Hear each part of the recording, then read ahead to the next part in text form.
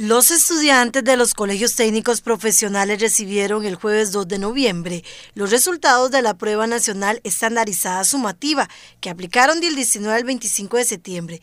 En el caso de la Dirección Regional de Educación de Pérez Celedón se tuvo una promoción de un 98% en los colegios técnicos profesionales de San Isidro, Ambientalista de Pedregoso, General Viejo, San Rafael de Platanares y en Pejivalle. Ministerio de Educación, Control de Calidad nos eh, nos da a conocer los resultados de la región de 200, perdón, de 477 estudiantes que hicieron las pruebas nacionales estandarizadas, el 98% pasó.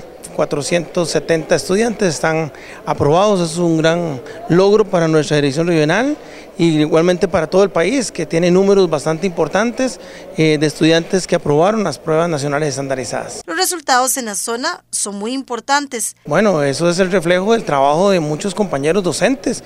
Es aquí donde también mandamos un saludo y una felicitación a los docentes que han venido preparando a los estudiantes para cumplir con este proceso, ¿verdad? Que también teníamos algunas dudas, no sabíamos cómo iba a ser, este, los estudiantes cómo iban a reaccionar.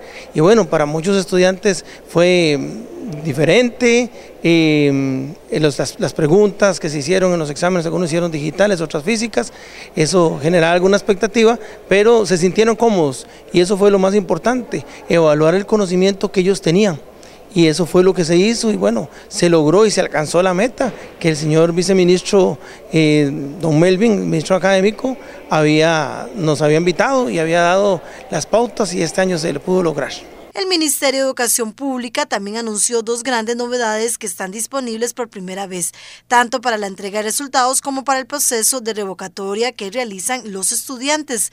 La primera es que a partir de este año los directores de los centros educativos reciben los resultados de las pruebas y los informes de los estudiantes en formato digital mediante la plataforma de apoyo institucional por medio de un código entregado por la Dirección de Gestión y Evaluación de la Calidad.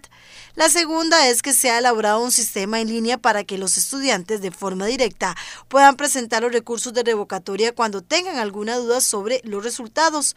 Los días 3, 6 y 7 de noviembre los estudiantes tienen la posibilidad de presentar en línea los recursos de revocatoria.